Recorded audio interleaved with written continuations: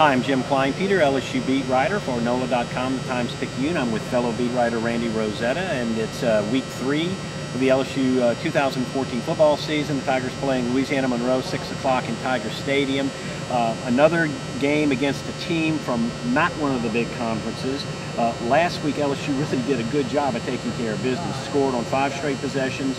Uh, the first play of the game, longest pass play in, L in LSU history.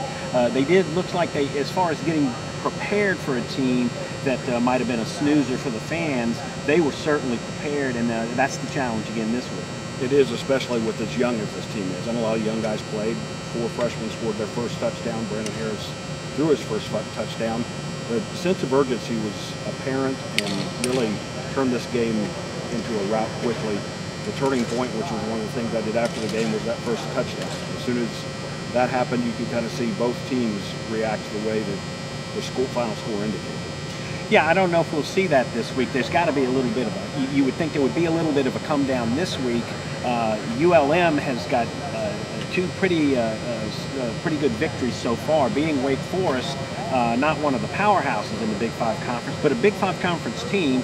Probably shouldn't have beaten them, but beat Idaho, and now they come to Tiger Stadium. Um, the, again, it's going to be uh, staying focused, and uh, I'm sure the coaches want to have the same type of game. Get on top early, play a lot of people because they've got a lot to get ready for in two weeks with Mississippi State.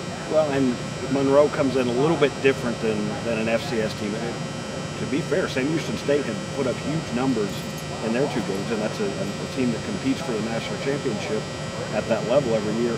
The difference is ULM has a little bit more depth behind their first line guys and they know how to beat big teams. Les Miles made a point of mentioning that they beat Alabama in 2007, and then three years ago they beat Arkansas, I believe, in Little Rock. It was not in Fayetteville, it was in Little Rock. So they've got, there may not be many guys around from that team, but coaches know. Todd Berry knows a little bit about putting together a game plan to at least hang around and have a chance to upset. I don't think that will happen. I think LSU will win the game, but I think it will be, Monroe will put up a little bit more of a fight than Sam Houston State.